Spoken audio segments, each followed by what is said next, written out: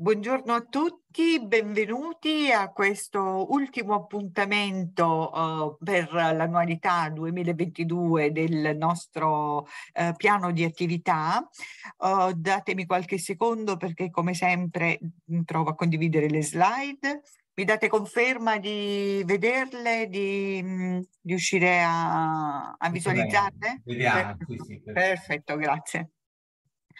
E mh, come avete visto nel breve video introduttivo, appunto questa è un'attività che è organizzata uh, da un partenariato uh, dei centri Europe Direct in Italia.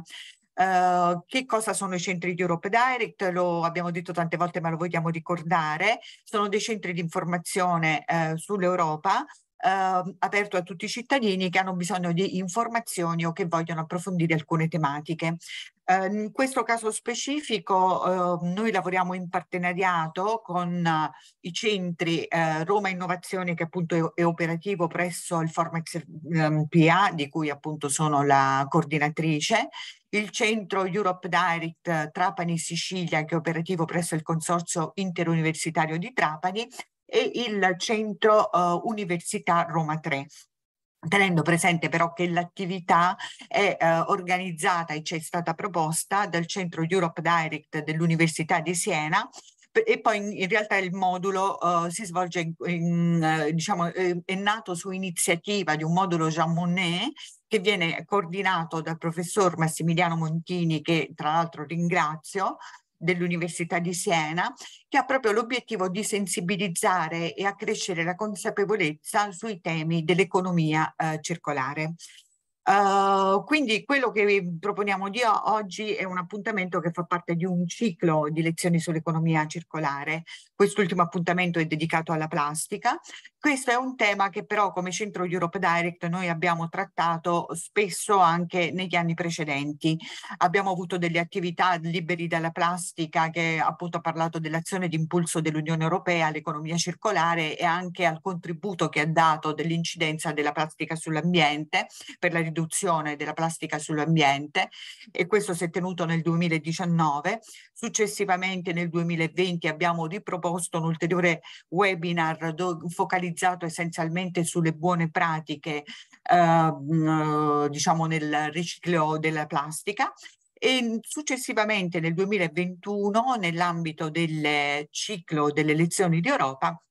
abbiamo avuto un altro appuntamento dedicato alla transizione ecologica e alla sfida dell'economia eh, circolare. Il ciclo attuale invece ha previsto tre appuntamenti, questi sono tenuti uno il 10 novembre dedicato al ciclo del tessile, il secondo appuntamento si è tenuto il 17 novembre ed è stato dedicato appunto al ciclo dall'agricoltura al tessile, e invece quest'ultimo appuntamento, quello di oggi, sarà dedicato interamente alla plastica riciclata.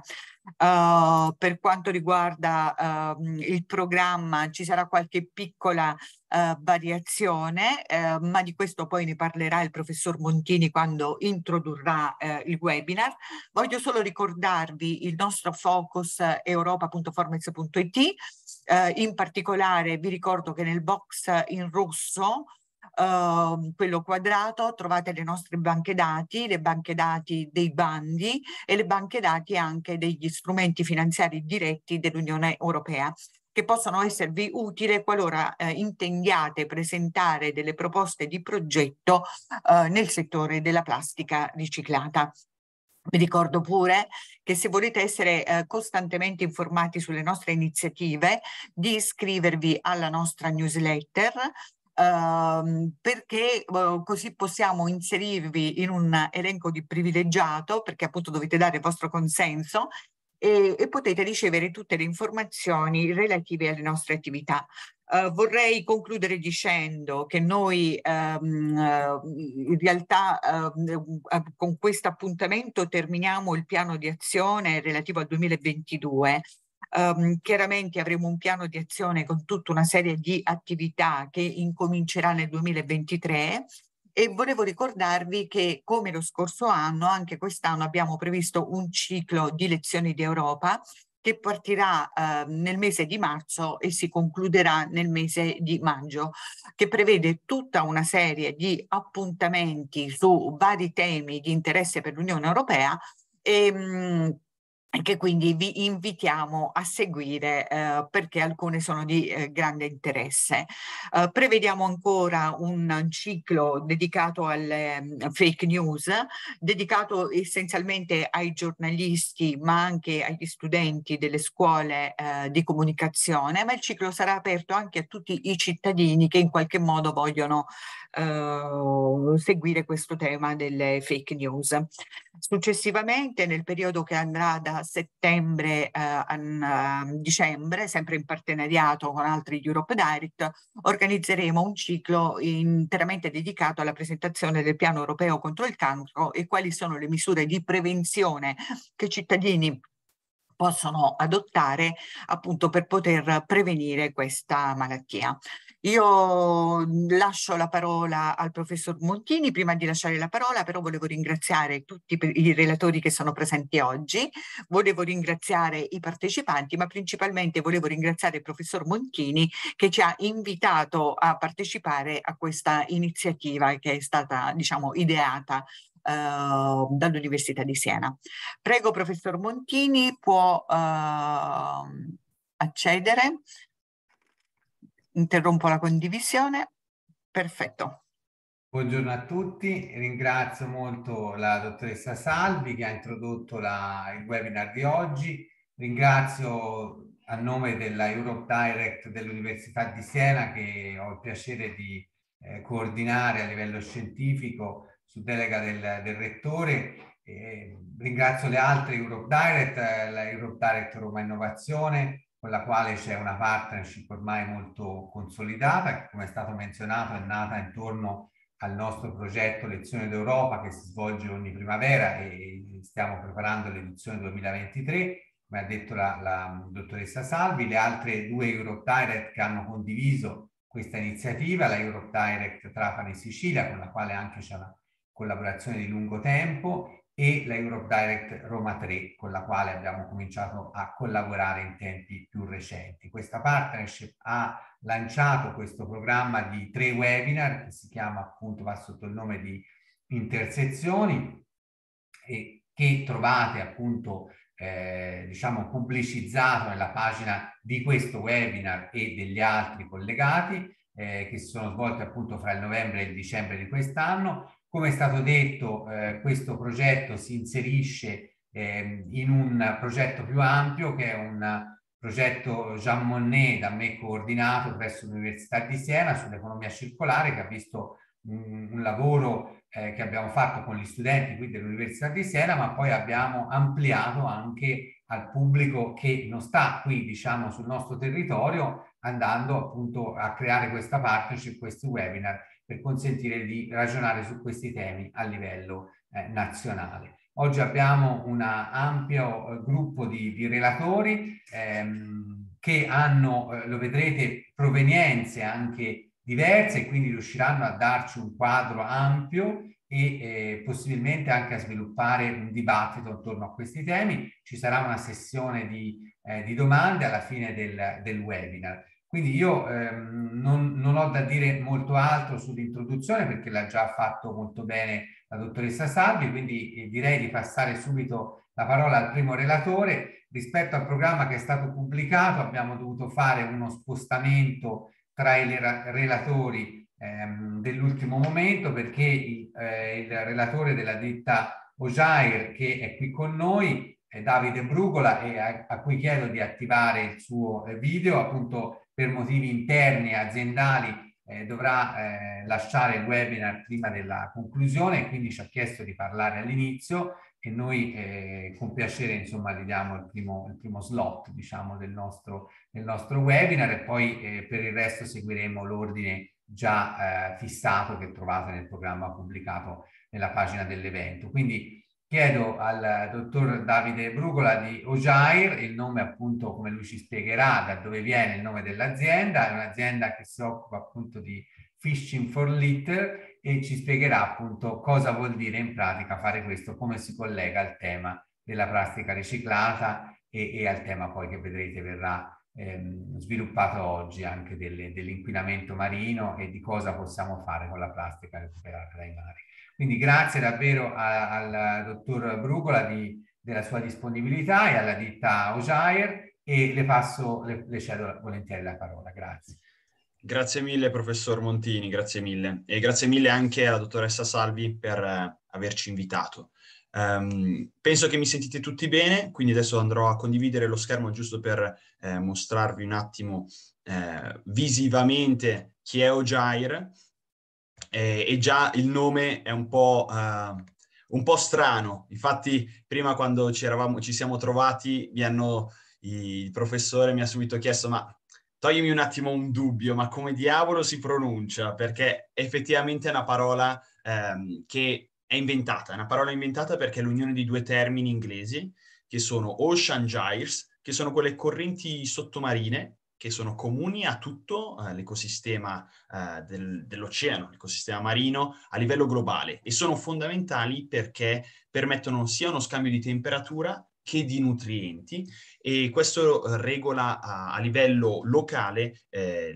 il, il, giusto uh, mantenimento dell'ecosistema. Purtroppo però queste correnti sono diventate famose eh, perché creano quelle che vengono spesso chiamate da, dai media, dai, da, dai giornali, eh, come isole di plastica. Eh, queste gigantesche distese di rifiuti marini, in realtà non c'è solo plastica, ma anche altri, altri generi di rifiuti altri generi di rifiuti come può essere eh, il, il, vetro o anche materiali ferrosi, ehm, davvero di tutto. Eh, la più famosa è la The Great Ocean Patch, eh, per cui The Ocean Cleanup, il progetto dell'ingegnere olandese, eh, è stato creato, che si trova tra le Hawaii e la California. E giusto per darvi un'indicazione di quello che è l'enorme problema dell'inquinamento marino, è eh, grande come l'intera penisola iberica. Quindi immaginatevi Spagna e Portogallo messe in centro nel, nell'Oceano Pacifico. Una cosa che invece eh, spesso non viene ricordata è che ne abbiamo una anche qui nel nostro mar, mar Nostrum, che spesso e volentieri viene chiamato Mar Plasticum per la quantità di rifiuti eh, marini che si trova in esso. Eh, e per questo un po' i miei due co-founder, i miei due fondatori, eh, entrambi amanti del mare, uno è un surfista, l'altro è un velista, um, hanno fatto una riflessione e si sono detti, noi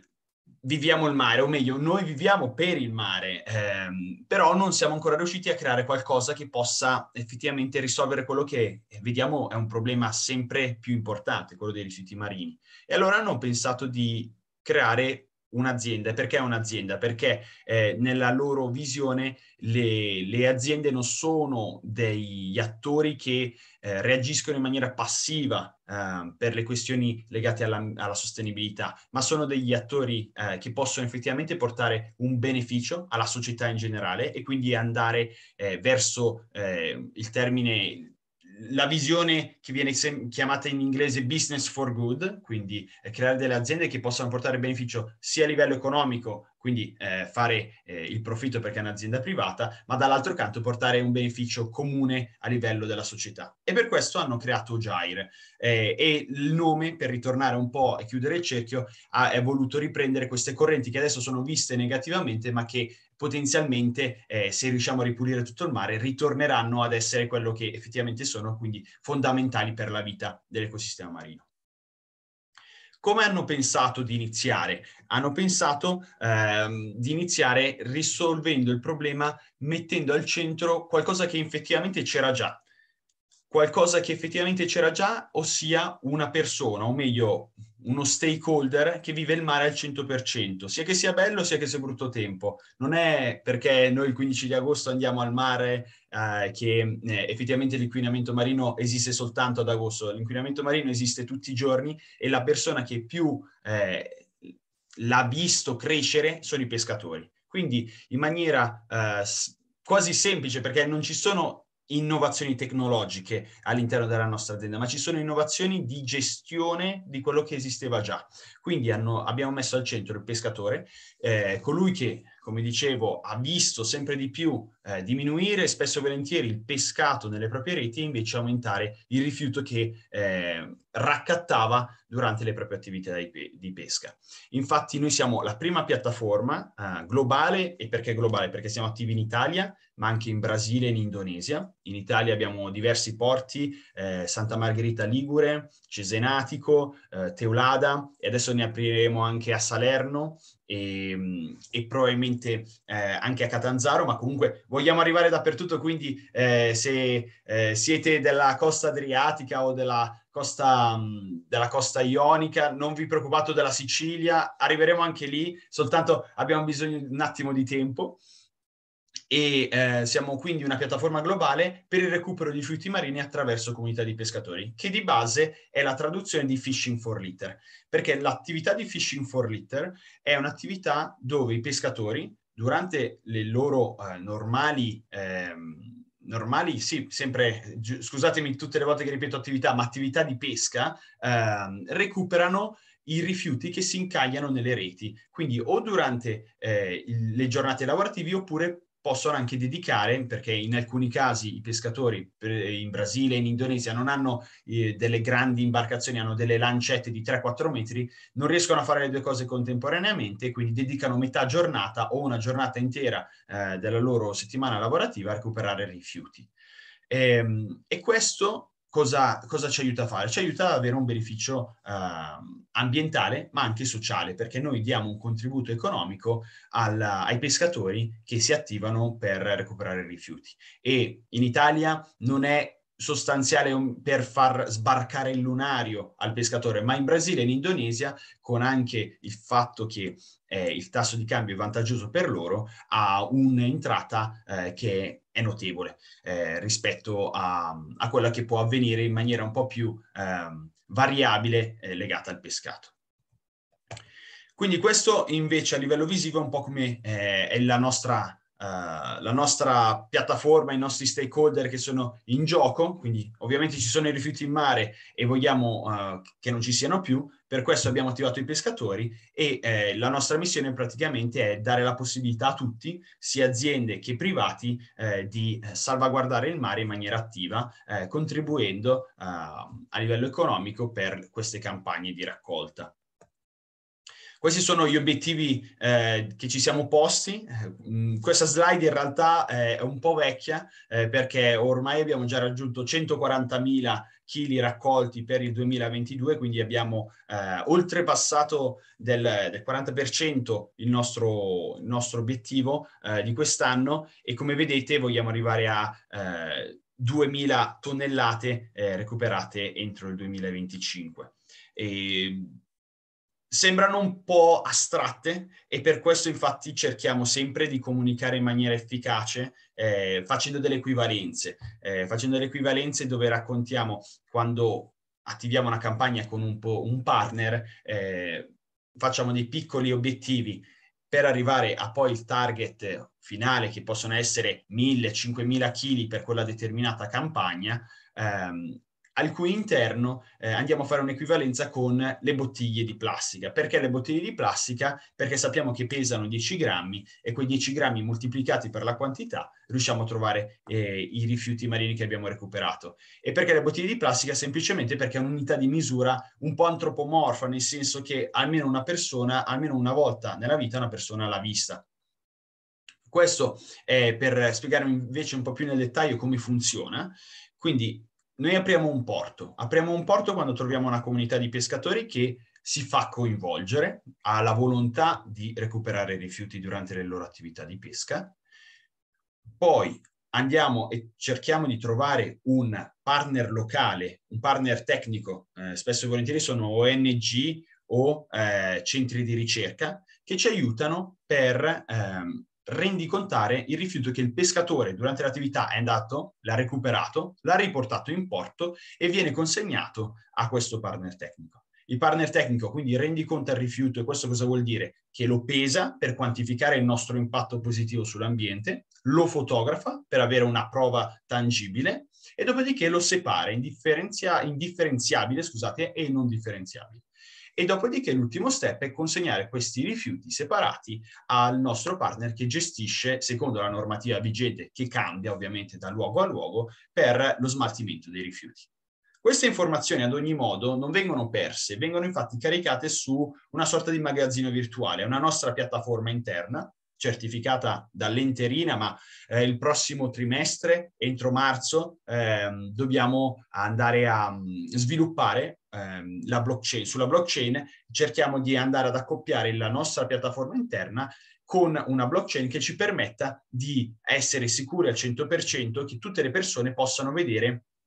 che non ci sia un doppio conteggio, perché quando un, la, quella determinata pescata di eh, Leonardo, recuperata a Santa Margherita Ligure il 20 di dicembre, viene caricata online, diventa una sorta di token digitale, diventa oh, una, un, un, un, asset digitale con un nome univoco, gli diamo un codice univoco, che però ovviamente potrebbe essere moltiplicato per diversi profili. Per, questa, per questo aspetto andremo a utilizzare la blockchain per dare un'indicazione immutabile tra la, la transazione che avviene dall'account di Leonardo all'account dell'azienda uh, che va a supportarci. In questo momento è certificato dall'enterina, quindi non ci sono problemi, è già così, però vogliamo dare una ulteriore certezza e per questo andremo a implementare questa tecnologia che vi ho menzionato.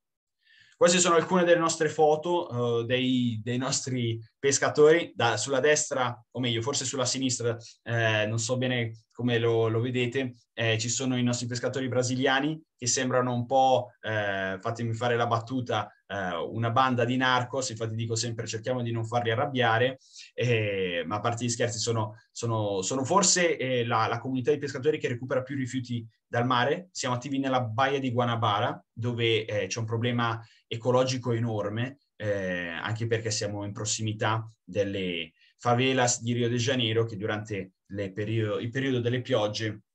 un sacco di rifiuti finiscono in mare, da materassi, lavatrici, qualsiasi cosa. Invece in centro trovate i nostri eh, pescatori indonesiani eh, sopra e poi a sinistra invece i pescatori italiani. Ojair contribuisce al raggiungimento di quattro obiettivi di sviluppo sostenibile, eh, gli SDGs, eh, nel, in particolar modo ovviamente Life Below Water, SDG 14, eh, perché il recupero di rifiuti dal mare è uno dei pochi ehm, è una delle poche attività di eh, mitigazione dell'inquinamento che si ha la certezza che ha un beneficio al 100%. Eh, altre attività eh, non, non, sono così, ehm, così certe che portino sempre comunque un beneficio. Poi ovviamente responsible consumption and production perché noi riusciamo a andare a riciclare parte dei rifiuti che recuperiamo. Eh, di solito si parla di una percentuale che va tra il 40 e il 20% a seconda della zona e delle nature dei rifiuti che troviamo e anche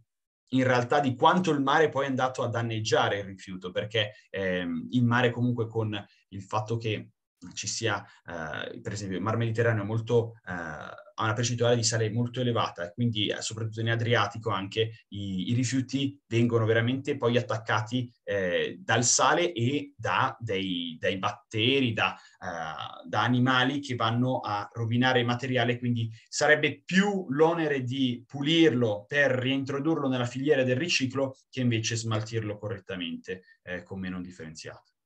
e però comunque per dire eh, che riusciamo a recuperare dei rifiuti evitiamo il consumo di risorse vergini. Decent Work Economic Growth invece perché portiamo eh, un contributo economico, come dicevo, sia ai pescatori che poi anche alle ONG, ai centri di ricerca e poi Partnership for the Goals perché ovviamente tutto questo non sarebbe possibile senza eh, la collaborazione di diversi nostri partner.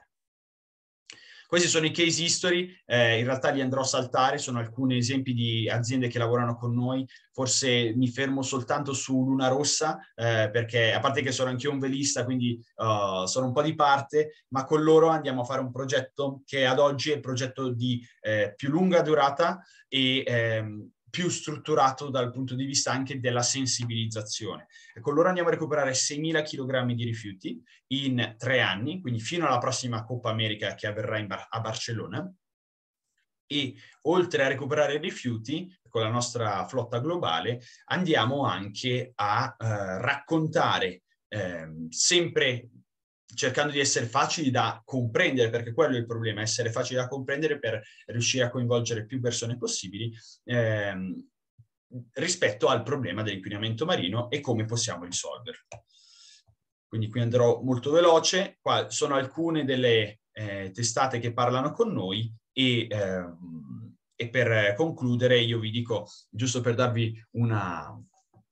un ordine di grandezza, noi siamo nati nel 2020, quindi la dottoressa Salvi prima menzionava che loro, il primo webinar sulla plastica è stato fatto nel fine 2019. Noi siamo nati a inizio 2020, quindi non con i migliori auspici eh, lato Covid, ma siamo riusciti comunque a barcamenarci. Siamo società benefit da sempre e B Corp invece da quest'anno, eh, quindi sempre il movimento di Business for Good. E, e per l'appunto, oltre a essere eh, partner di Luna Rossa per cercare di sensibilizzare le persone, siamo anche partner di UNESCO, media partner per il decennio del mare. Eh, e qui sempre c'è la, la parentesi che se noi andiamo a recuperare i rifiuti dal mare, ma al contempo non riusciamo a educare le persone all'importanza di queste azioni e l'importanza dello smaltimento corretto, comunque di un utilizzo minore di risorse vergini, eh, diciamo che non risolviamo il problema al 100% mettiamo soltanto una pezza a quello che c'è già. Io mi fermerei qui, se qualcuno ha delle domande eh, sono a disposizione perché poi purtroppo devo, devo scappare, quindi nel caso, dottore, il, il professor Montini, non so. Sì, grazie, grazie. Allora riprendo un attimo la, la parola e ringrazio il dottor Brugola perché stato molto interessante vedere, vedere, questa spiegazione. Insomma, io un po' avevo letto qualcosa sulla vostra azienda, ma devo dire che la spiegazione è stata molto efficace, molto chiara e quindi penso che per tutti noi che siamo come dire, molto molto interessati anche a queste innovazioni è, è veramente una bella, una, una bella esperienza la vostra. E io ovviamente ho interesse su questi temi a tutto tondo, mi occupo di questioni giuridiche, mi venivano tante domande, ora in attesa che poi magari nella chat possano arrivare altre domande. Allora la sessione domande sarà alla fine, ma come ho detto all'inizio faremo un'eccezione per, per, voi se c'è qualche domanda del pubblico anche. Intanto farei io una domanda eh, che mi incuriosisce molto, cioè l'aspetto, l'incrocio per l'aspetto normativo e quello logistico, diciamo. Lei ha detto giustamente le normative operando nei vari paesi sono diverse perché necessariamente poi il rifiuto viene gestito su scala locale, no? E quindi raccolto eh, trasportato e, e, e, smaltito o riciclato a seconda del, del paese. Ecco, eh, come ha detto lei giustamente, c'è un problema di, eh, di, qualità del rifiuto, per cui spesso il riciclo non è facile. Ecco, mi chiedevo se voi avete eh, visto anche una diversità nei vari paesi rispetto alla filiera riciclaggio e riuso, perché uno dei problemi che noi abbiamo visto nei nostri webinar è che eh, che è molto diverso da paese a paese, è che sono diversi i modi di raccogliere e ovviamente le normative e poi molto spesso è diversa la filiera che ricicla, che è più o meno sviluppata, ed è diversa la filiera che, eh, come dire, chiede il materiale riciclato, che è un altro problema in molti paesi. Ecco, mi, mi chiedevo se voi già, come dire, vi interessate anche di questa fase o questa è una fase che demandate ai vostri partner locali che poi gestiscono questa parte o avete delle strategie su questo, diciamo. Grazie, grazie mille per la domanda, eh, super eh, interessante e super complicata anche da rispondere, perché purtroppo quando si parla di rifiuto l'atto normativo è veramente complicato, veramente complicato e giusto per dare un incipit, noi quando abbiamo iniziato, in realtà nel 2020, era, eravamo proprio al limite della legalità, nel senso perché il rifiuto recuperato dai pescatori veniva considerato, secondo la legge italiana, rifiuto speciale. Quindi si era creato quella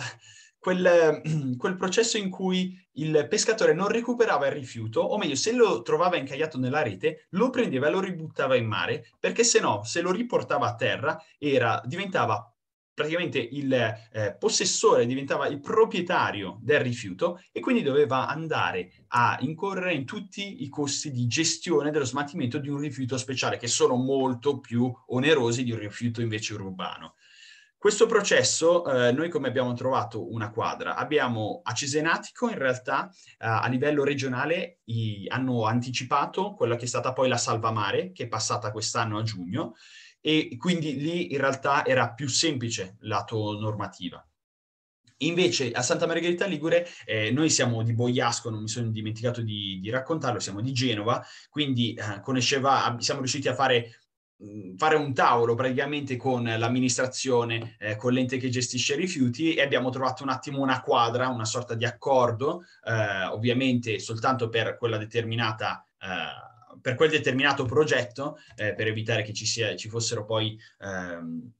delle ripercussioni e, e, quindi abbiamo trovato questo escamotage. Ovviamente la salvamare ci ha aiutato tantissimo in Italia, eh, però anche lì la salvamare forse gli manca ancora un piccolo passo, perché come anticipava, eh, come anticipavi, ehm, il, il punto è noi recuperiamo il rifiuto. Il rifiuto che si può gestire e smaltire, benissimo, ma il rifiuto che poi si può riciclare, chi può richiederlo? In Italia questo non è ancora chiarissimo e, in cui, e quindi in questo momento in Italia è veramente complicato dare vita a una, effettivamente a un progetto completo di economia circolare. È il nostro obiettivo a lungo termine, anche perché recuperando sempre più eh, tonnellate riusciremo a mettere a scala potenzialmente anche la produzione di eh, prodotti proprio di economia circolare, perché ad oggi noi facciamo prodotti eh, più sostenibili come i nostri costumi da bagno, noi abbiamo del merchandising che è prodotto da un tessuto che si chiama Sequal, è certificato al 100% perché è recuperato da plastiche marine e plastiche di fine uso, ma non lo produciamo noi, e, ehm, e, ehm, e questo quello è l'obiettivo. Invece in Brasile e in Indonesia è in realtà praticamente quasi più semplice che in Italia, perché la gestione dei rifiuti è in capo a ehm, enti privati che da un certo punto di vista sono più efficienti nel proprio, nel, nello smaltire e se possono nel rivendere il rifiuto che è riciclabile. E per questo uh, sono più virtuosi. Poi tralasciando il fatto che in Brasile e in Indonesia trovi un sacco di plastica monouso. Quindi c'è anche la natura del rifiuto che entra in gioco e quindi permette anche eh, che sia più redditizio il fatto di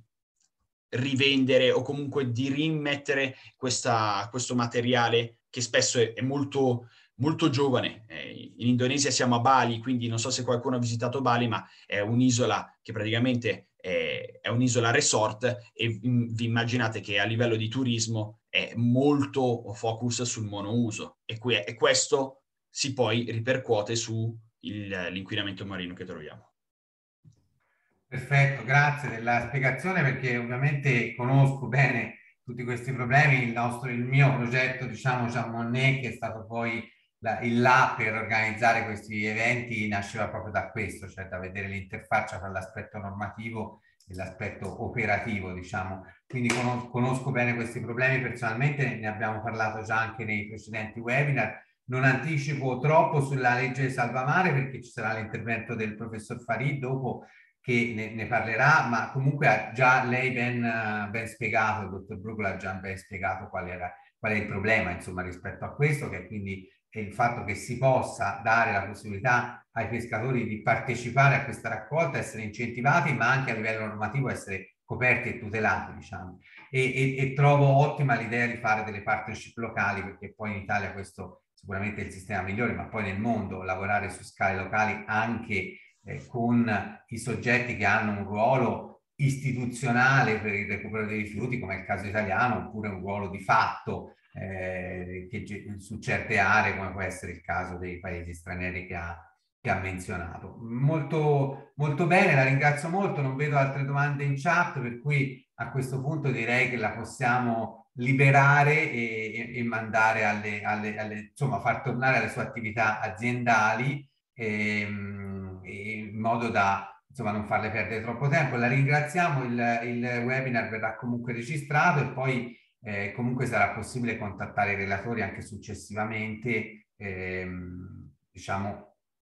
anche da parte dei, dei, dei, partecipanti e degli altri che fossero. Grazie mille, grazie mille a tutti. Buona giornata e buon webinar. Gentilissimo. Grazie, grazie mille. Allora io andrei avanti a questo punto con il programma e chiederei al, eh, alla professoressa Messina di attivare il suo audio, il suo video, ecco la vedo, e la ringrazio molto della sua, della sua disponibilità Eh, proseguiamo quindi con il programma. La professoressa Messina è ehm, docente all'Università di Palermo ed è presidente della European Society for Marine Biotechnologies e quindi ci darà un inquadramento di tipo scientifico al, al nostro tema. Eh, il titolo della sua relazione è il ruolo delle biotecnologie blu nel miglioramento della sostenibilità delle risorse acquatiche. La professoressa Messina coordina una serie di progetti molto interessanti dei quali mi ha un po' parlato ma che sono curioso di vedere più nel dettaglio oggi nella sua presentazione e, e ci piaceva appunto iniziare con questo inquadramento scientifico e poi proseguiremo invece con un inquadramento di tipo più,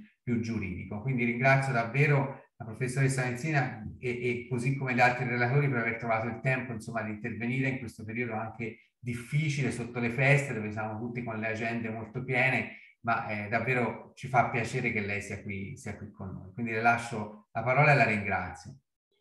Grazie professora, dire la verità sono io che ringrazio lei e la dottoressa Marta Ferrantelli che è di Europe Direct sede di Trapani per aver chiesto eh, il mio coinvolgimento nella giornata odierna perché sia come docente eh, che come al momento presidente della European Society for Marine Biotechnologies sono ovviamente molto sensibile a tutte quelle attività di training e formazione che possono eh, migliorare eh, la sensibilizzazione eh, verso le tematiche che hanno a che fare con l'uso sostenibile delle risorse soprattutto alle risorse marine, parliamo più in generale, preferisco parlare più in generale di risorse acquatiche.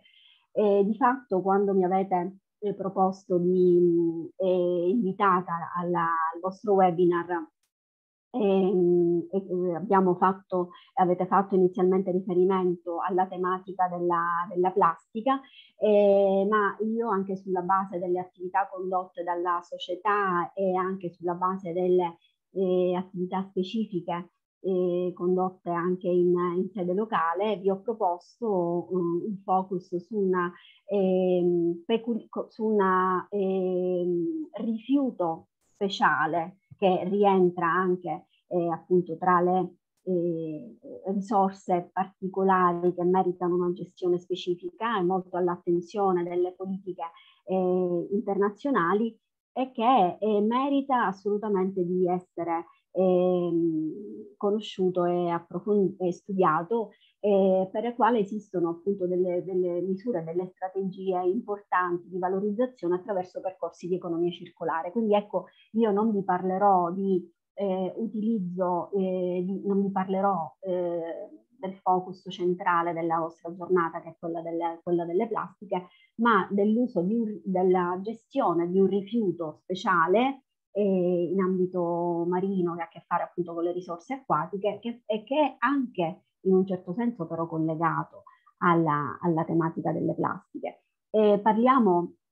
partirei in generale proprio dal, dal ruolo chiave che hanno eh, le produzioni acquatiche come eh, componenti chiave del sistema globale del food, eh, dal quale noi non possiamo prescindere per assicurare alla popolazione mondiale la food security, quindi per raggiungere il, il goal, l'obiettivo che la FAO e le Nazioni Unite si sono imposte e, che eh, mission eh, continua e costante è quella di assicurare ad ogni individuo sulla Terra la sicurezza eh, alimentare in termini di adeguata eh, possi possibilità di avere accesso quotidianamente ad una eh, razione adeguata di cibo che possa permettere all'individuo di vivere e, e di sostenersi, ehm, e, e di sostenersi.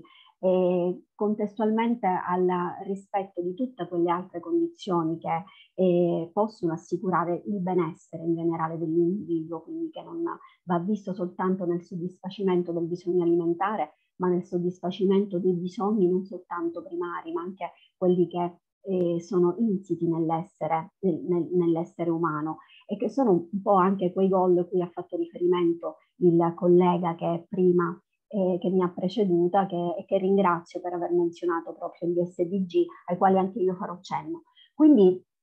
perché parto con questo argomento? Parto con questo argomento perché è stato proprio il crescente interesse a livello globale verso eh, l'uso delle risorse acquatiche marine a scopo alimentare a determinare proprio negli, negli ultimi decenni una condizione di depauperamento delle risorse ittiche è dovuto al loro eh, continuo e pressante sovrasfruttamento che è stato necessario per soddisfare la richiesta e sempre più crescente di prodotto ittico che i consumatori hanno evidenziato perché sono eh, diventati sempre più eh, consapevoli sui benefici che derivano dal, dal consumo di, di, prodotti ittici, di prodotti che derivano dal mare, per i benefici al, a livello della salute, per lo spostamento che alcune abitudini alimentari eh, lo spostamento di alcune abitudini alimentari a cui abbiamo assistito, quindi eh, sono comparse nuove fasce di consumatori eh, sempre più attente a una dieta corretta e bilanciata, e lo spostamento dell'alimentazione eh, verso alimenti carne di natura marina rispetto agli alimenti carne di natura terrestre. E tutto questo ha fatto sì che si intervenisse, si andasse sempre più sulle, eh, sulle risorse acquatiche col prelievo, situazione che ha determinato chiaramente un incremento dello sforzo di pesca, un peggioramento della sostenibilità delle, eh, delle attività di pesca o comunque di, eh, anche di acquacoltura sulle risorse, sulle risorse globali, e, eh, ma nello stesso tempo ha, eh, questa condizione ha determinato eh, un, eh, un, crescente sviluppo delle attività di acquacoltura che adesso eh, da qualche, già da qualche anno eh, rappresentano eh, un contributo veramente significativo alla possibilità di soddisfare la richiesta sempre più crescente di prodotti ittici. E teniamo conto che dagli anni 60 ad adesso eh, il consumo eh, pro capite eh, è mh, incrementato in maniera significativa. Siamo passati dai 9 kg annui pro capite ai 20-30 kg anni pro capite per alcune nazioni che hanno una eh, grande eh, tradizione del consumo di prodotti ittici, soprattutto in Europa, come appunto la, l'Italia, la Spagna, il Portogallo. E quindi la possibilità di poter continuare a soddisfare questa richiesta che le statistiche eh, danno crescenti nella, eh, negli anni a venire ci impone una riflessione e, e, ci impone di lavorare tutti insieme per eh, eh, da un lato assicurare eh, il soddisfacimento delle richieste, ma nello stesso tempo assicurare la sostenibilità dell'ambiente marino. Quindi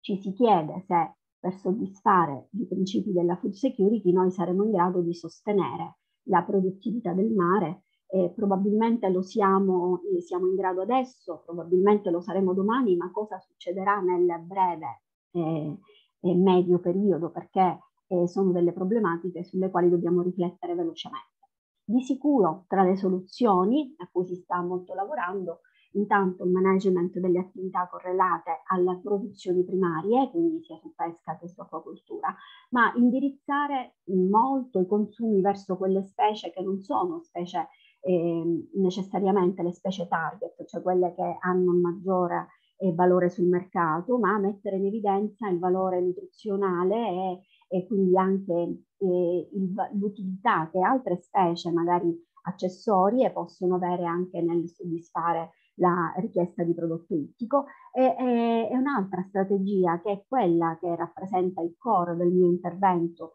e che va e che si collega all'argomento dei rifiuti è quello dell'uso e la valorizzazione di tutte quelle risorse acquatiche che non sono considerate risorse alimentari in uh, dirette, quindi tutte le risorse non food, che però rappresentano eh, una fonte importante di eh, molecole bioattive che attraverso un approccio biotecnologico possono essere indirizzate ad altre filiere produttive di altri settori industriali, come quello della farmaceutica, della nutraceutica, della cosmetica, dell'energia, per attivare e realizzare percorsi di economia circolare. Questa eh, tematica è, è ritenuta, è stata ritenuta così importante di rilievo, vista la quota importante che queste risorse rappresentano a livello mondiale, da eh, far sì che venisse assegnato all'uso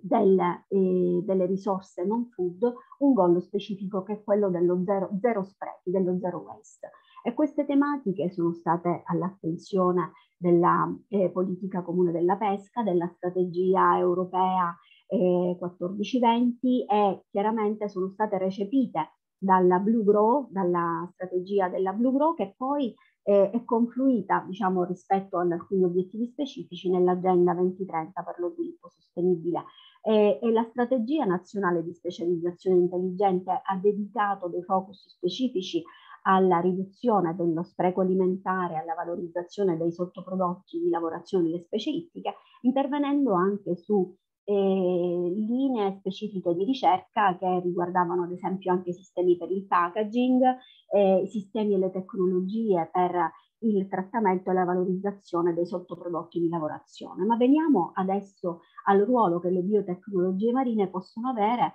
eh, hanno avuto, eh, hanno e potranno avere nel eh,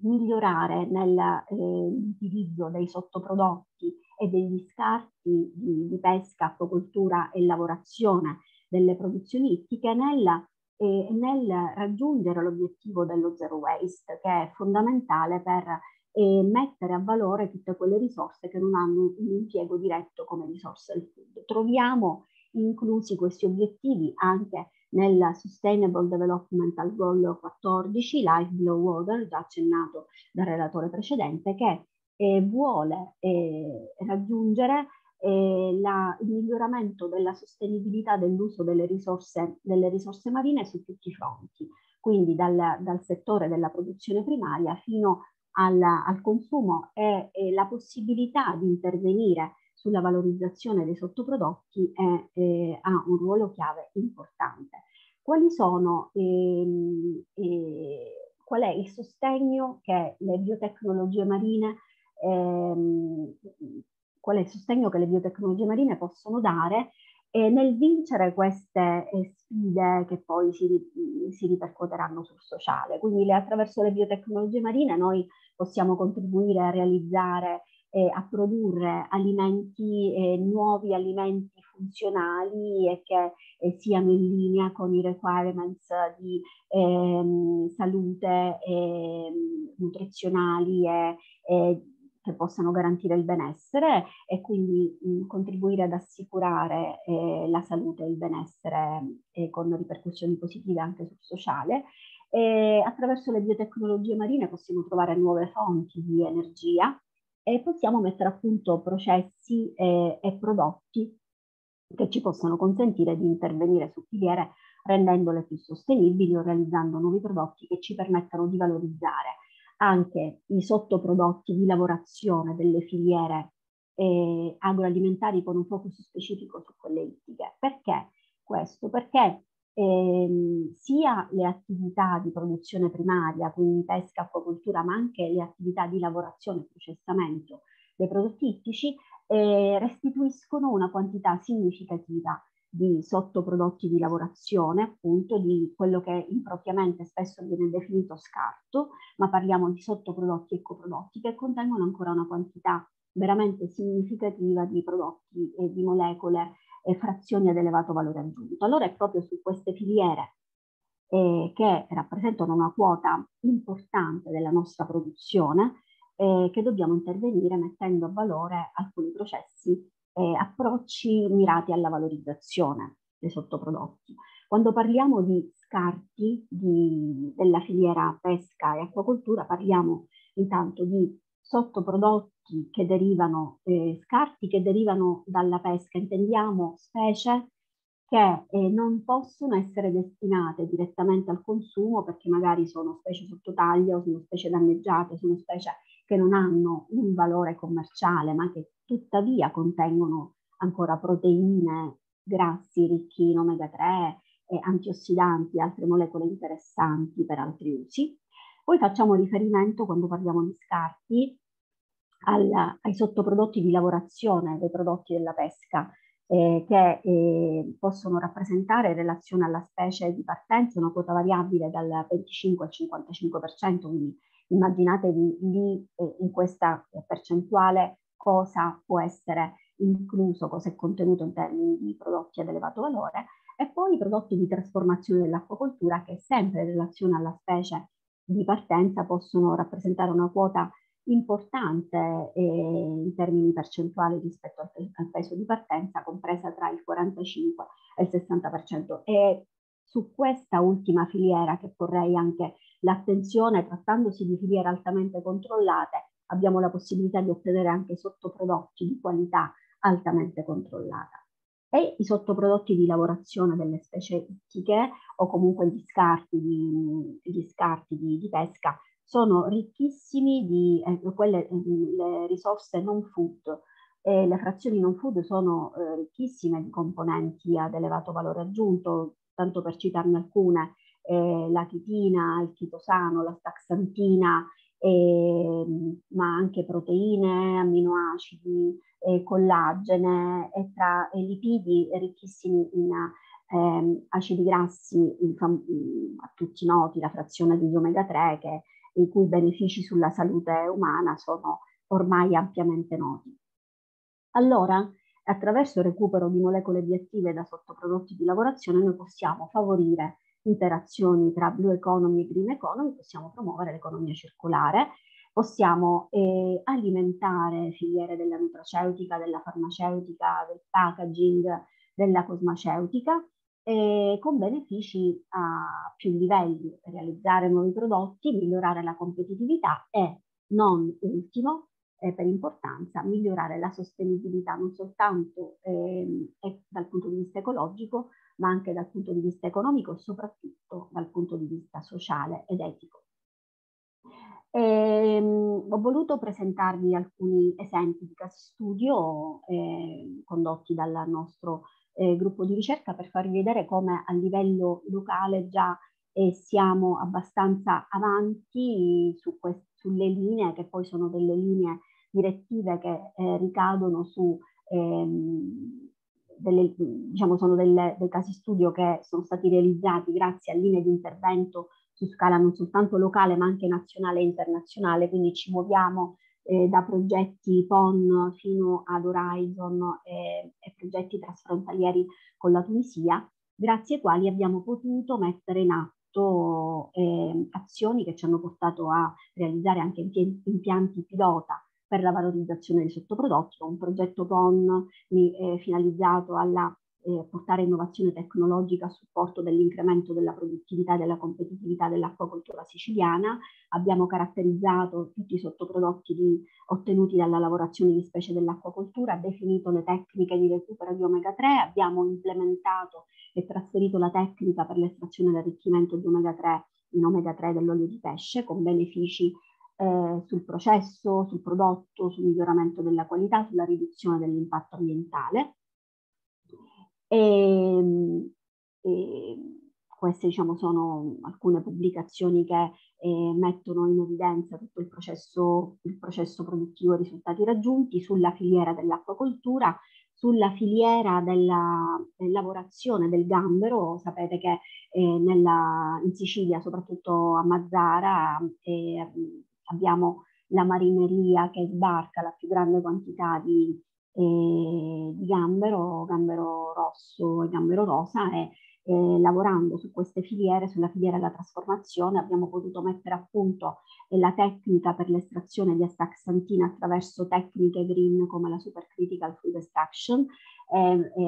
insieme all'estrazione sulla frazione proteica di idrolizzati proteici che hanno un impiego soprattutto in farmaceutica e abbiamo potuto collaborare con le industrie che trasformano il tonno e quindi e valorizzare sottoprodotti ottenuti dalla trasformazione per ottenere un olio arricchito in omega 3 e mettendo a punto un processo che ci, ci permette di ottenere un olio food grade che soddisfa tutti i requirements dell'EFSA, quindi può essere utilizzato direttamente anche per il consumo umano, e su un progetto a titolarità con il Dipartimento della Pesca Mediterranea. Stiamo eh, implementando queste tecniche in, eh, passando ad impianti eh, pilota per l'estrazione e l'arricchimento in omega 3 da sottoprodotti eh, che ci hanno permesso di ottenere quindi farine, idrolizzati, collagene, carotenoidi, antiossidanti su grandi volumi, quindi siamo già su volumi industriali. queste eh, esperienze di trasferimento tecnologico sono, eh, hanno rappresentato la base per il coinvolgimento in progetti che eh, sono di più ampio respiro e che ricadono nel social engagement e quindi ci hanno eh, permesso di ehm, cogliere l'invito di consorsi ehm, di ricerca che ehm, ci hanno dato la possibilità di entrare in un progetto Horizon sulla governance 09 eh, in cui il nostro caso studio rappresenta il caso studio da, eh, che su base regionale poi verrà traslato eh, su altre eh, realtà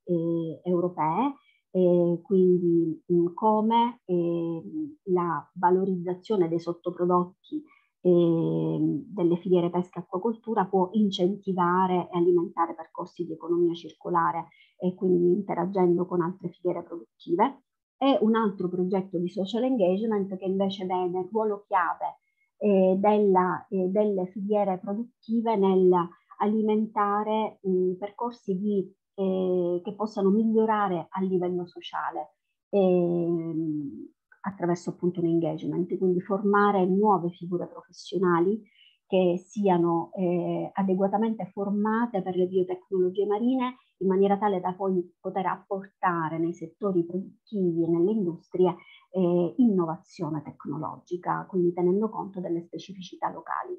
E la nostra è la hub dedicata alla Blue Economy e siamo in collaborazione eh, appunto con il Consorzio Universitario di Trapani, con APRE, eh, con il distretto produttivo della pesca e crescita blu, con i FLAG e anche con eh, il progetto Horizon Blue Red e il progetto Italia Tunisia la Bibliotech. la tematica della, eh, del food è strettamente connessa ovviamente alla tematica del packaging e quindi siamo anche in una cost action che mira a rendere quindi i packaging più sostenibili. Ecco, questo sicuramente troviamo anche un punto di contatto molto stretto anche con la tematica delle plastiche perché siamo in collaborazione con dei gruppi di ricerca che sono molto avanti nella realizzazione di packaging biocompatibili e biodegradabili e tutte queste azioni sicuramente che rientrano nella eh, tematica del Green Deal europeo avranno la, eh, contribuiranno a favorire la transizione verso l'economia circolare, migliorare la gestione delle risorse, migliorare la sostenibilità eh, economica dei settori blu, quindi tutto quello che attiene pesca, acquacoltura e trasformazione, contribuendo non soltanto al raggiungimento del goal 14, ma anche quello, al raggiungimento del goal 12, quindi un consumo, consumo e produzioni più responsabili. Tutte queste tematiche sono incluse anche in azioni che mirano a formare nuovi giovani, eh, nuove figure professionali eh, che, che, possano appunto apportare innovazione nel settore produttivo, quindi in ambito sociale. Abbiamo dottorati innovativi, dottorati industriali che eh, mirano a, eh, li abbiamo anche realizzati eh, e li abbiamo in corso, che mirano appunto a eh, raggiungere questi obiettivi eh, inclusi nel, nel Green Deal europeo. E tutte queste tematiche sono all'attenzione della European Society for Marine Biotechnology che ha tra le sue mission quella di eh, disseminare nei giovani, negli studenti, nei dottorandi, nei giovani ricercatori eh, la eh, sensibilità verso il ruolo che le biotecnologie marine possono avere per vincere le sfide sociali che ci possono portare ad un miglioramento dell'uso sostenibile delle risorse blu. E svolgiamo un'attività, un'attività mh, molto significativa soprattutto di training, favorendo appunto trainship tra i laboratori che fanno parte del network e sicuramente eh, potremo rimanere in contatto per e stabilire anche delle collaborazioni e migliorare anche gli scambi tra giovani. E, e, ci avvaliamo anche della rete, ovviamente della rete Erasmus per realizzare eh, gli agreement tra eh, i laboratori ospitanti e le università, le sending institution. E quindi eh, mi fa appunto particolarmente piacere concludere eh, questo mio intervento con l'invito a rimanere, a rimanere in contatto e con una foto che ritrae appunto la eh, mia città, in cui c'è anche una sede della Europe Direct e nella quale spero prossimamente di, grazie anche eh, innanzitutto al professor Montini e al ruolo della dottoressa Ferrantelli di avervi tutti magari qualche, qualche volta ospiti per un grande workshop. e vi ringrazio ancora per l'invito. Grazie mille alla professoressa Messina che abbiamo eh, con piacere eh, diciamo, avuto fra i nostri relatori oggi e, ha fatto bene a ringraziare la dottoressa Marta Ferrantelli, che è una dei nostri partner, la, la responsabile della Europe Direct Trapani Sicilia, che ha messo in contatto la professoressa Messina con noi e che ci supporta sempre sia eh, nella ricerca dei relatori, sia nella promozione dei nostri eventi eh, in Sicilia e devo dire che ormai è molto tempo che abbiamo delle partnership molto interessanti con, con la Sicilia e quindi siamo, siamo molto contenti, la, la, ringraziamo. Io passo subito agli altri interventi perché il tempo ovviamente è poco e, quindi bisogna eh, subito andare avanti, lasceremo poi se possibile qualche spazio per le domande alla, a, verso la fine del, del webinar. Quindi passo subito la parola al professor Andrea Farri dell'Università Roma 3 che ci parlerà invece della Blue Economy e dell'economia circolare guardando alla dimensione giuridica quindi tornando un po' anche ai temi che già sono stati toccati nel, nel primo intervento e mettendoli in relazione con i temi toccati eh, più in generale dalla professoressa Messina e penso, immagino, immagino parlandoci anche della nuova normativa salvamare che sicuramente è stata già citata e che interessa molto ai nostri partecipanti. Grazie anche al dottor Fari per la sua eh, gentile disponibilità e gli lascio subito la parola. Sì, grazie. No, sono io che ringrazio voi dell'invito e anche il professor Montini, ovviamente, anche la professoressa Moschetta dell'Europe Direct della mia università di Roma 3, che ha insistito, ma non ha dovuto insistere troppo per eh, invitarmi a, questo, a questa interessante occasione di, di, scambio. In realtà entrambi gli interventi che mi hanno preceduto hanno già toccato i temi di cui eh, avevo intenzione di, di, parlare da punti di vista diversi e, almeno a mio avviso, assolutamente eh, molto molto interessanti entrambi. Ehm, il profilo giuridico da questo punto di vista è da un certo punto di vista forse quello meno interessante, eh, da un altro costituisce l'elemento di limitazione e di blocco spesso ad esperienze che dal punto di vista imprenditoriale o di ricerca e industriale sono evidentemente da considerare assolutamente virtuosi. Perché? Perché il diritto pone delle regole nella gestione di questi materiali o rifiuti e la qualifica come materiali o come rifiuti non è, è il primo di questi, di questi ostacoli e pone tutta una serie di presidi di legalità, adempimenti legati alla tracciabilità, alla riconoscibilità eh, della, della movimentazione di questi rifiuti che per tanti anni hanno costituito un, uh, un elemento di di blocco del, del sistema assolutamente, assolutamente negativo. Ehm, prima si faceva riferimento ad alcune quantità, mi sembra che il primo intervento abbia detto che la società eh, riesce a, a, a, raccogliere circa 2000 tonnellate l'anno eh, di, di, rifiuti in mare. Beh, mh, I dati ci dicono, i dati dell'Unione Europea, che ogni anno vengono immesse nel mare circa 27.000 tonnellate di microplastiche, eh, di macroplastiche, chiedo scusa, quindi di rifiuti, eh, di rifiuti plastici e che di queste eh, il 70% circa sono plastiche monouso e materiali eh, connessi alle attività di pesca. Quindi ogni anno il 70% di 27.000 tonnellate viene rilasciato in mare ed è costituito da rifiuti di plastica monouso e attrezzature di pesca. Eh, che vengono abbandonate deliberatamente eh, in, in, mare. Ehm, questo mh, perché è un tema eh, che riguarda lo sviluppo dell'economia blu, quella che viene cosiddetta chiamata la blue economy, ovvero l'economia legata a tutte le attività connesse con, eh, con, il mare ed è un, uno spettro di attività molto più ampio di quello che si potrebbe immaginare eh, in modo assolutamente superficiale perché riguarda da un lato le attività eh, di pesca ma anche le attività turistiche ma anche e soprattutto tutte le infrastrutture connesse con il mare e con, e con le coste, eh, quelle portuali e quelle ad esempio ehm, relative alla mobilità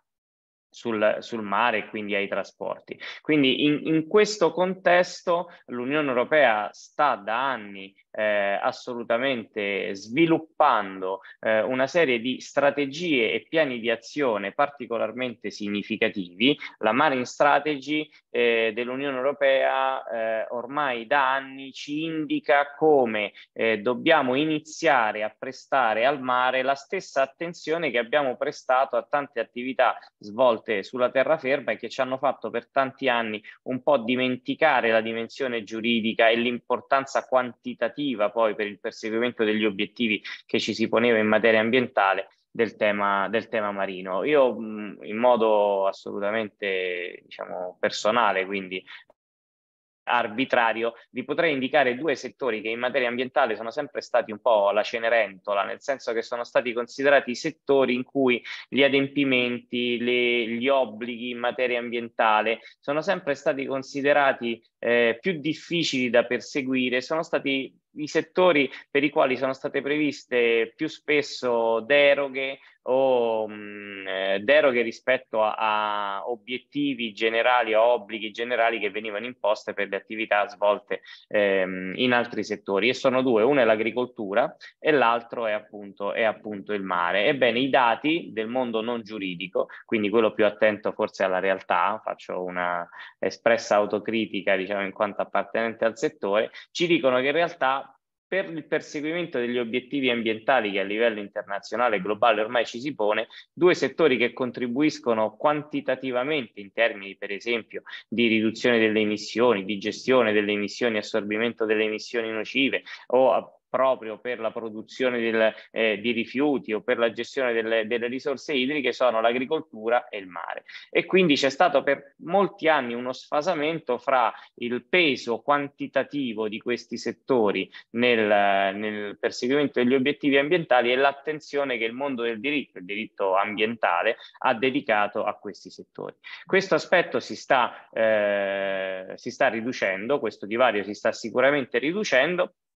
e un aspetto lo vediamo appunto nelle politiche marittime, eh, in cui ad esempio ha trovato ormai asilo in modo ufficiale e definitivo anche un'attenzione particolare per l'economia circolare. Ne, avete, ne, stiamo già parlando da ormai eh, diversi minuti, sapete benissimo di che cosa si tratta, si tratta di quel modello economico che tende a, a differenza di quello lineare a ridurre gli impatti per eh, l'apprensione di risorse naturali vergini in natura, eh, prendendoli invece dai prodotti a fine vita dei cicli produttivi e quindi utilizzando come materie prime ciò che si può trovare negli scarti, chiamiamoli genericamente così, che poi possono essere qualificati giuridicamente come eh, rifiuti oppure eh, come sottoprodotti. Ho sentito molto la professoressa Messina parlare prima di sottoprodotti, è un tema a me caro ormai da diversi, diversi diversi anni e quindi mi fa piacere eh, che il mondo della ricerca sia andato da questo punto di vista avanti con un livello di elaborazione molto superiore della ricerca scientifica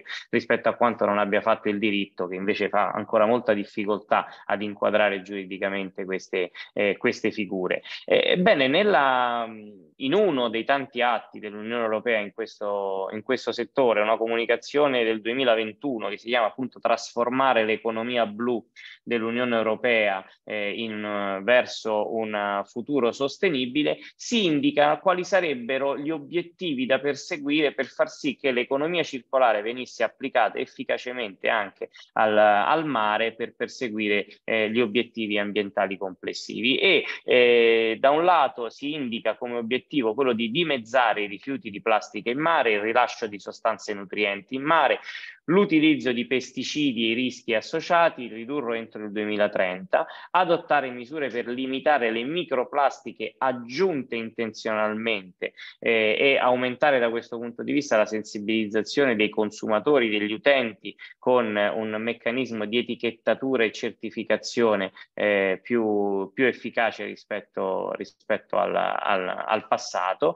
e in, da questo punto di vista, per quello che adesso di, di, seguito vi dirò in modo particolarmente significativo, si indica anche la necessità di garantire che i rifiuti catturati durante le operazioni di pesca siano dichiarati in porto e che gli attrezzi da pesca in plastica siano raccolti e riciclati dopo il loro utilizzo. Questo a livello diciamo, strategico eh, europeo. C'è anche un ulteriore punto che riguarda il riciclaggio delle navi in quanto tale, quindi il recupero dei materiali dalla dismissione dismissione, lo smantellamento delle navi e delle piattaforme offshore. Ricordiamoci tutti quanto è stato complicato nel nostro paese, ad esempio, questo tema con riferimento a a uno dei casi, ma quello che è stato più noto alle cronache della Costa Concordia. No? Vi ricorderete che per capire dove poterlo smantellare secondo gli standard europei c'è stata una bagarre significativa fra il porto di Genova e il porto di Livorno. Eh, ritornando al tema delle, dell'economia circolare, questo punto in realtà della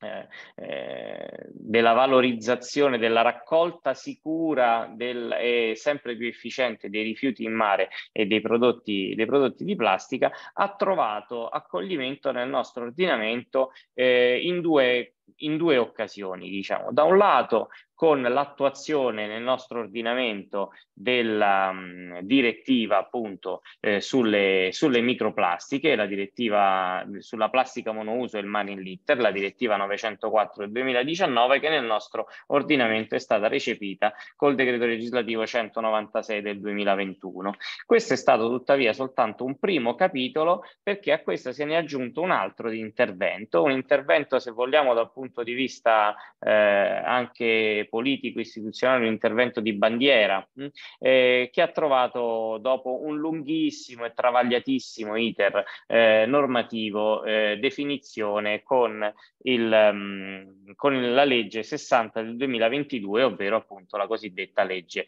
eh, Salva Mare. Questo titolo enfatico in realtà poi eh, a, a questo titolo enfatico corrispondono delle misure molto precise e, e molto delimitate, se vogliamo, nell'ambito di applicazione, ma che certamente riguardano appunto eh, il tema del raccogliere rifiuti in mare. Eh, prima il eh, dottor Brugola ha rappresentato bene il problema del raccogliere i rifiuti in mare. Io cerco di darvi giusto due elementi per eh, precisare e in parte dare il mio punto di vista un, po' diverso sui profili giuridici della problematica. Il, eh,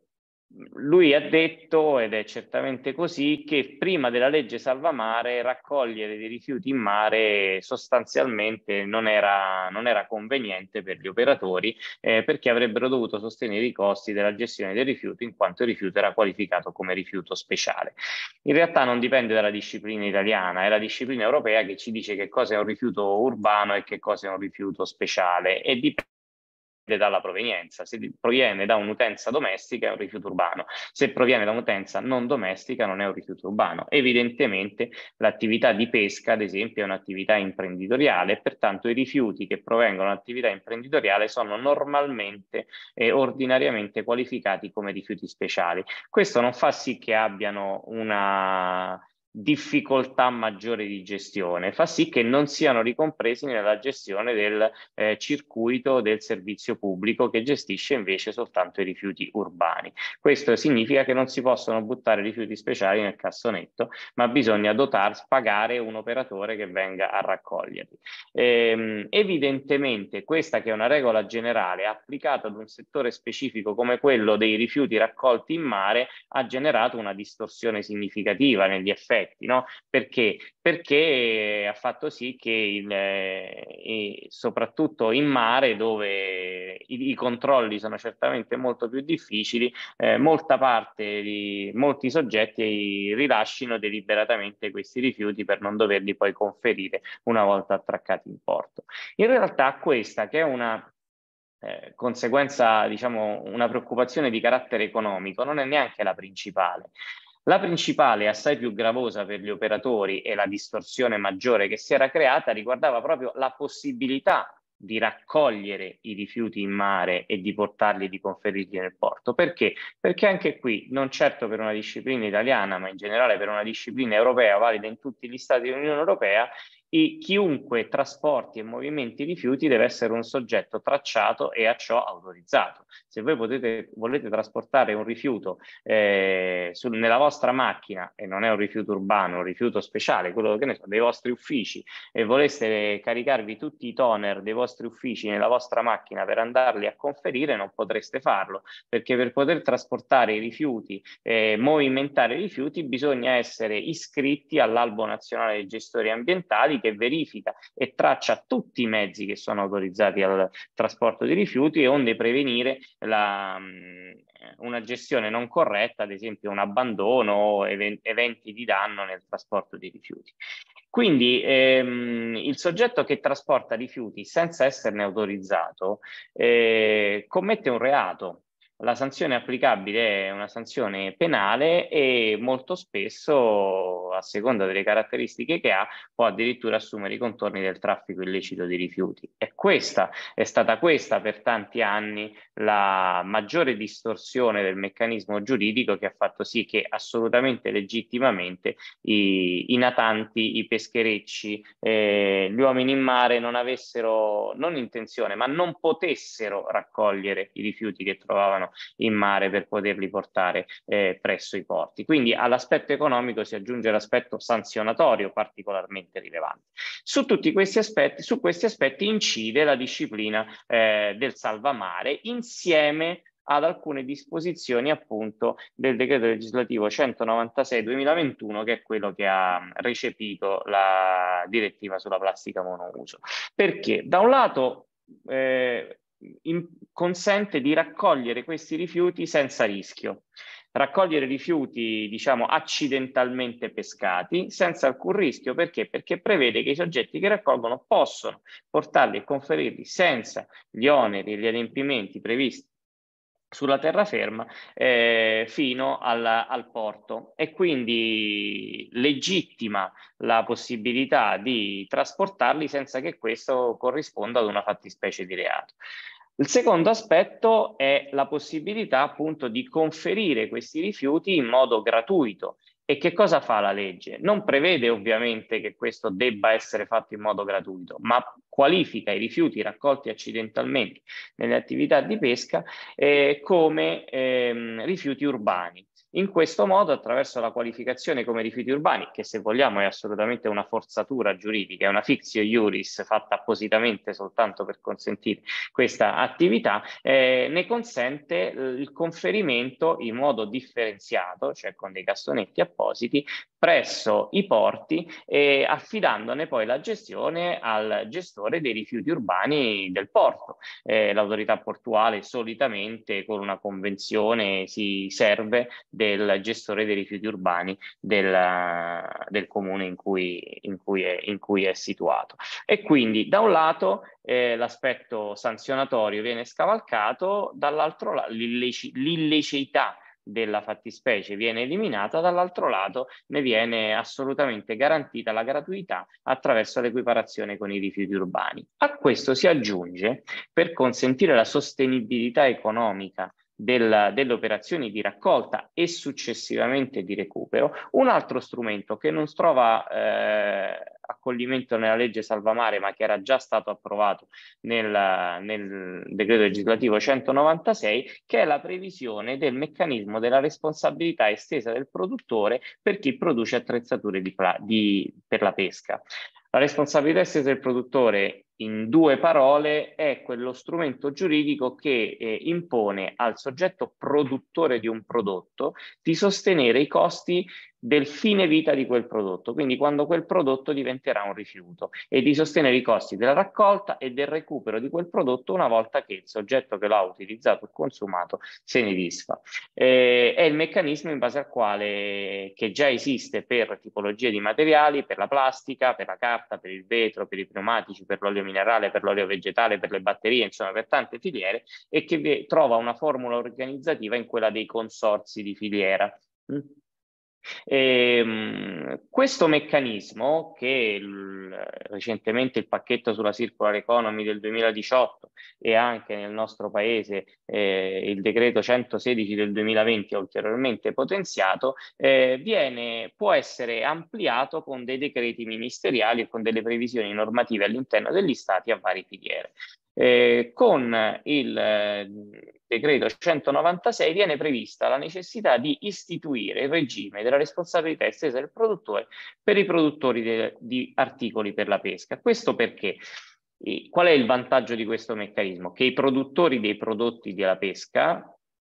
che tendenzialmente sono prodotti in plastica o con fibre tessili difficilmente recuperabili, hanno tutto l'interesse a rendere economicamente più sostenibile il fine vita di questi prodotti e per fare ciò devono raccoglierne il più possibile e recuperarne il più possibile. E per poterlo recuperare il più possibile a costi più sostenibili saranno incentivati a produrli già con modalità eh, so, eh, ambientalmente sostenibili e questo è il concetto del cosiddetto eco design, ovvero produrre dei prodotti in modo tale che il, il recupero dei materiali in esso contenuti sia successivamente più, eh, più, più semplice. Un ultimo aspetto su cui incide questa normativa è quello della possibilità del, diciamo, di recuperare questi prodotti dopo la raccolta. E qui c'è una disposizione, a mio avviso, assolutamente eh, imprecisa nella legge Salvamare, eh, che prevede la necessità che con decreto ministeriale siano stabilite le modalità per eh, recuperare i prodotti raccolti nelle, in mare eh, e far sì che cessino di essere rifiuti, il cosiddetto end of waste. In realtà l'end of waste fino ad ora in tutti i settori dell'ordinamento eh, in tutti i settori produttivi per cui è stato applicato riguarda il tipo di materiale, quindi c'è l'end of waste per la carta, l'end of waste per il ferro, l'end of waste per il vetro, non il luogo in cui sono stati raccolti, perché evidentemente so, potranno essere raccolti eh, prodotti di diverse di, diverse, di, diverso materiale. In ogni caso, diciamo che il legislatore pone l'attenzione sul fatto che dopo averli raccolti in sicurezza, averli raccolti in modo economicamente sostenibile, deve essere, devono essere anche recuperati e quindi crea uno strumento per eh, favorire il più possibile, per favorire il più possibile questo, eh, questo recupero. Eh, dal punto di vista della sostenibilità economica, una cosa che ho dimenticato è che possono essere raccolti nel circuito dei rifiuti urbani, ma per questo ci sarà una addizionale, diciamo, nella tariffa eh, rifiuti che viene applicata dai gestori del, del luogo in cui si, eh, si, questi rifiuti, questi rifiuti verranno, verranno raccolti. Ehm, tutto questo meccanismo io ve l'ho descritto per i rifiuti accidentalmente pescati. In realtà nella legge Salvamare è contemplata un'altra tipologia di rifiuti, quelli volontariamente pescati in campagne di raccolta della plastica che possono essere poste in essere da una serie di eh, soggetti, eh, una serie di soggetti del, diciamo, del, del settore, eh, gestori delle, delle, aree protette, associazioni ambientalisti, associazioni dei pescatori, cooperative delle imprese di pesca, i consorsi, le associazioni di pescatori sportivi e ricreative, sportive subacquei e diportisti, eh, gestori, gestori dei centri di immersione e addestramento, ovvero tutti i soggetti che eh, sfruttano, utilizzano il mare come luogo della propria attività benefica o imprenditoriale sono soggetti che potranno realizzare delle campagne di raccolta volontaria, eh, di raccolta volontaria dei rifiuti. A, ai rifiuti raccolti in modo volontario si applica il medesimo regime che vi ho appena descritto e quindi la possibilità di conferirli come rifiuti urbani presso le, ehm, presso le, le aree portuali, presso le quali dovranno essere adibiti, però attenzione, ricordiamoci che la la legge ci dice la raccolta deve essere differenziata, quindi ci dovranno essere dei, dei contenitori appositi. Quindi diciamo che complessivamente la legge interviene eh, per eh, eliminare quelli, quelle distorsioni che l'applicazione del regime ordinario avrebbe ha determinato fino adesso eh, nel settore, della, impedendo la raccolta, la raccolta di, questi, di questi rifiuti, anzi se vogliamo anche favorendone l'abbandono in mare piuttosto che non in altre matrici ambientali. Io concluderei qui anche per non dilungarmi troppo. Grazie, grazie mille al professor Farì che mi pare ha fornito un quadro molto chiaro della, della, della, della legge Salvamare, cosiddetta legge Salvamare, e di cosa è cambiato rispetto a, alla normativa precedente, diciamo creando, quindi facilitando la possibilità del recupero del rifiuto in, in, mare. Quindi lo ringrazio perché ha chiarito secondo me in modo molto preciso, molto puntuale questi, questi aspetti. Eh, a questo punto siamo un po' eh, lunghi con i tempi, ma eh, dobbiamo trovare assolutamente lo spazio per l'ultimo intervento e quindi sforeremo di qualche minuto. Ringrazio eh, Fabio Buccolini della Lega Navale di Ostia che ehm, si occuperà del ruolo della società civile nel, nel, recupero della plastica, ci racconterà anche cosa fa la Lega Navale e, e, e come contribuisce a questa eh, grande campagna di, di, recupero dei rifiuti dal mare che si lega al, al lavoro eh, diciamo di approfondimento eh, che propone il nostro webinar. Mi dispiace per essere arrivati un po' lunghi con i tempi e mi scuso insomma per il ritardo con il eh, dottor Buccolini al quale passo subito la parola. Bene, io ringrazio ovviamente della parola, spero di non dilungarmi molto, anzi vorrei essere molto pragmatico come si usa di solito in mare navigando e spero di riuscire a condividere il,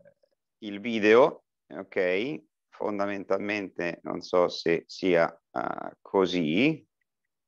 dovrebbe forse funzionare, non so se si vede. Si vede? Ancora no.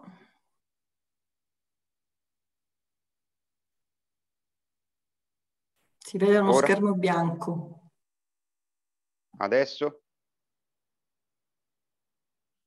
No, vabbè, comunque vado, vado rapidamente a braccio augurandomi che almeno il video provocatorio che ho inserito in eh, relazione funzioni. Diciamo che Lega Navale Italiana, per chi non la conosce, è la, la, forse più antica struttura associativa di appassionati per il mare, fondata oltre 125 anni fa. Perdoni l'interruzione, le chiediamo cortesemente se mh, mm,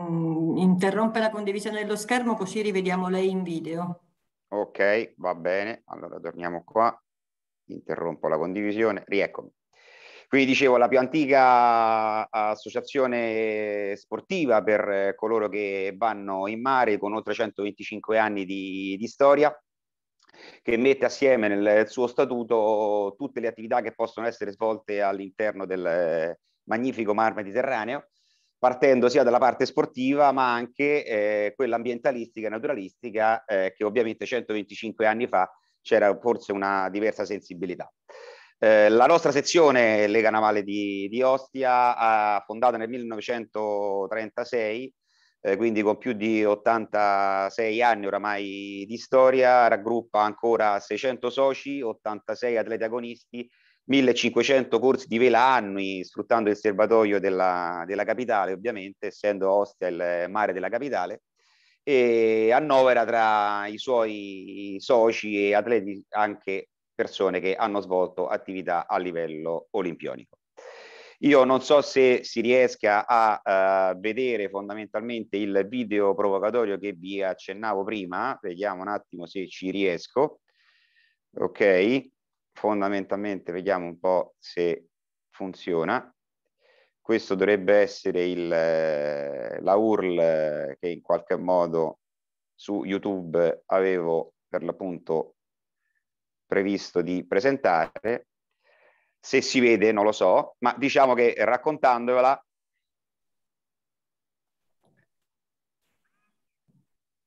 Si vede ma non è attivo il video.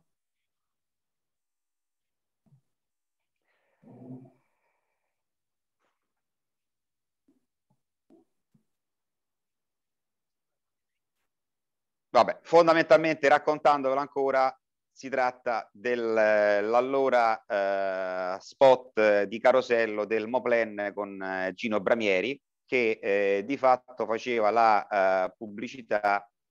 a un prodotto che in qualche... Mi sentite ancora? Pronto? La sentiamo, la sentiamo. Sì, sì. Che faceva la pubblicità, faceva per l'appunto la pubblicità al... Forse è meglio a questo punto togliere la condivisione dello schermo così vediamo lei. sì, se, se ci riesco, perché credo di aver avuto un problema qua con la presentazione. Allora, vediamo un po' se ci riesco qua. Che sia ancora in connessione. Il problema è che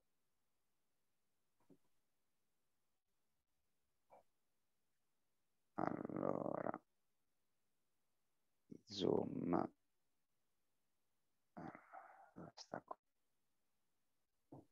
come tolgo la condivisione da qua? È dalla parte centrale dove condiv- dall'alto in realtà, dall'alto dovrebbe riuscire a toccare. No, il problema è che le... adesso io sono sul tablet e di conseguenza non ci riesco.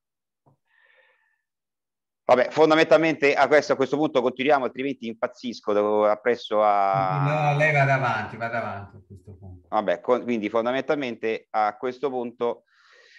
la, quel, quello spot eh, per l'appunto faceva la presentazione di un eh, materiale che in qualche modo ha segnato la storia del paese, il Moplen, ovvero sia una nuova formula chimica inventata da Giulio Natta nel 63 che in qualche modo eh, rendeva un prodotto estremamente resistente, quasi immortale, nel polipropilene iso, isotattico, che di fatto poi fu prodotto dall'azienda Montesud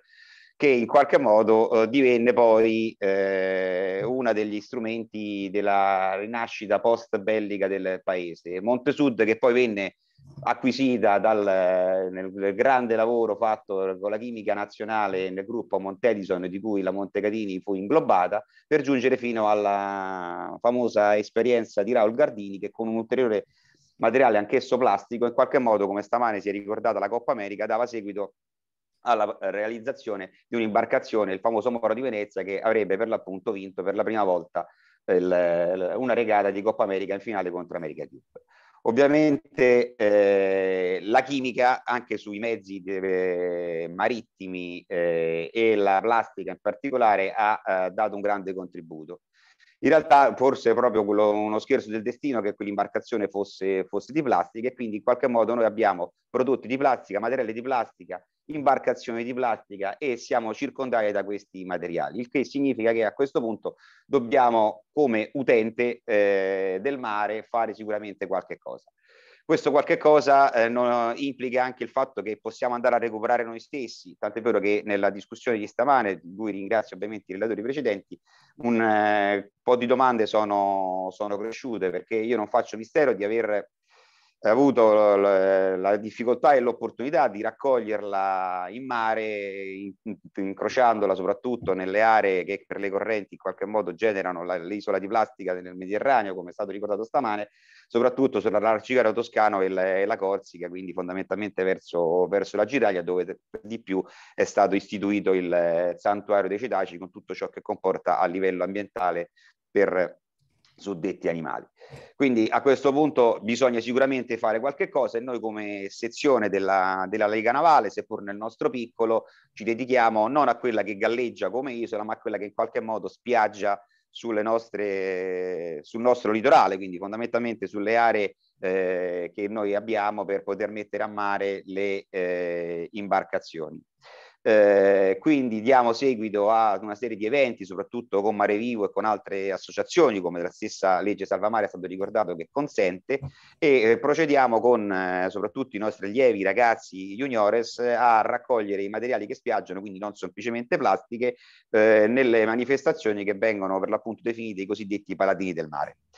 Eh, tra l'altro la Lega Nazionale Italiana ha eh, dato seguito ad una serie di protocolli d'intesa con, eh, con l'ISPRA e per l'appunto eh, stiamo eh, pensando di riattivarci come, come, sezione per poter fare in modo e maniera che queste attività diventino oh, degli appuntamenti fissi affinché in qualche modo il contributo della cosiddetta società civile diventa fattivo, sebbene sarebbe utile che noi stessi diportisti che navighiamo per mare in qualche modo potessimo raccoglierla noi stessi e questa infatti è una delle curiosità, se ciò sia consentito deve essere esclusivamente svolto in termini come dire, associativi come, come circolo che significa che se io dovessi arrivare con la imbarcazione in porto e scaricare qualcosa, voglio sapere se quello poi effettivamente diventerebbe un eh, rifiuto urbano. Certamente le cose da fare sono tantissime, secondo eh, noi non basta più né riciclare né riusare né ridurre, ma in realtà l'obiettivo dovrebbe essere quello di passare direttamente a, a, una conversione ecologica anziché parlare esclusivamente di transizione, visto che oramai le tecnologie come già ricordavamo in termini storici con eh, l'esperienza della plastica riciclata, eh, con la plastica diciamo bio, biodegradabile, soprattutto a livello di film, del, quello che avanzava dalla Mont Edison, quindi la, la Nova Mont, eh, passare direttamente ad una conversione ecologica e quindi ragionare direttamente in termini di economia circolare producendo cose che in qualche modo, qualora non dovessero essere vendute o utilizzate, possono essere completamente riciclate per giungere ad un eh, modello che sia a rifiuti praticamente zero. Con l'augurio, per l'appunto, come completavo il, eh, la presentazione, come diceva giustamente Cristoforo Colombo, che in qualche modo il mare concederà ogni uomo nuove speranze, come il sonno porta nuovi sogni, il che significa che dobbiamo continuare a sognare, non arrenderci e eh, utilizzare il riciclo e il riuso, ma progettare in un modello socio-economico completamente diverso di economia circolare. Grazie. Grazie al, al dottor Buccolini. Le chiederei se può provare a eh, togliere la condivisione che noi non riusciamo più a vedere nulla. E allora provo ad uscire, provo ad uscire e rientrare a questo punto, se sì, non è un problema, va bene? Facciamo, andiamo verso i saluti finali. Grazie, eh, scusate grazie, per, il, per la difficoltà. Esco e rientro. Grazie, grazie. Allora, sì, scusate, io mi scuso con tutti i nostri partecipanti per la difficoltà tecnica del, del dottor Buccolini. Comunque ringrazio anche lui del suo intervento che ci ha dato il senso anche della, del ruolo che possono svolgere le associazioni, la società civile eh, in partnership con gli enti pubblici e privati per, per, per risolvere il problema dell'intercettare la plastica, avviarla al riciclaggio, al recupero. Il eh, webinar di oggi ha presentato, come dicevo all'inizio, dei punti di vista diversi, eh, cercando di offrire appunto un'analisi per quanto possibile eh, completa, eh, che ovviamente completa non può mai essere, ma diciamo di, di fornire spunti. Fornire spunti Ho rientrato, eh? Grazie, grazie. Sì, grazie. Sì. E, e fornire spunti di riflessione. Purtroppo siamo arrivati un po' lunghi, abbiamo purtroppo dei tempi piuttosto rigidi sulla gestione delle aule, per cui eh, siamo costretti a tagliare, diciamo, la, la parte delle domande, eh, ma eh, ripeto, potete poi scrivere a noi organizzatori eh, se avete ulteriori domande o se vi volete mettere in contatto con i relatori, cosa che questo noi eh, diciamo rendiamo possibile anche successivamente, così come eh, sarà disponibile, come è già stato detto, la registrazione del webinar sulla pagina dedicata dell'evento eh, anche successivamente per coloro che non avessero potuto partecipare diciamo in diretta. Eh, a questo punto io eh, chiuderei perché siamo andati un po', un po lunghi con i tempi e eh, passerei la parola a, a, Claudia Salve per un saluto finale. Ringrazio tutti coloro che hanno reso possibile eh, questo, questo webinar e più in generale la nostra serie di webinar sull'economia circolare, eh, quindi il gruppo di Europe Direct eh, Roma Innovazione, Claudia Salvi e Raffaella Scordino il, ehm, Marta Ferrantelli della Europe Direct eh, ehm, Trapani Sicilia e, e i colleghi eh, della Europe Direct di Roma 3, in particolare la professoressa Moschetta che è stata citata, che ha, ehm, che ha facilitato il contatto con il professor Farin e eh, anche il professor Torino eh, che è referente scientifico della Europe Direct Roma 3. Spero di non aver dimenticato nessuno, naturalmente le mie colleghe di Siena ehm, Angelita Campiani e Monica Masti e tutto lo staff diciamo che sta dietro le quinte di questa serie di nostri eventi. Lascio la parola a Claudia Salvi, vi faccio a tutti tanti auguri anche di buon Natale, buone feste. Da parte mia ci rivediamo sicuramente nel 2023 per altri eventi e, e lascio quindi la parola per un saluto finale a Claudia. Grazie mille Massimiliano, sì, volevo salutarvi e ringraziare sia lo staff di tutti gli Europe Direct ma anche eh, i relatori e principalmente i partecipanti e, colgo anche l'occasione per augurare a tutti buone feste. Vi ricordo che sia la registrazione del webinar che le presentazioni saranno disponibili tra qualche giorno sulla pagina che avete utilizzato per iscrivervi e che ho indicato anche il link eh, nella chat, così come nella chat ho indicato il link per iscrivervi alla nostra newsletter così che possiate essere sempre informati sulle nostre future attività. Grazie a tutti e buona giornata, grazie a te Massimiliano per averci coinvolto in questa iniziativa molto interessante. Arrivederci a tutti. Arrivederci a tutti. Arrivederci, auguri a tutti, grazie di nuovo, buona giornata. Grazie ancora a tutti i relatori e ai partecipanti, a presto. Grazie, grazie di nuovo. Arrivederci.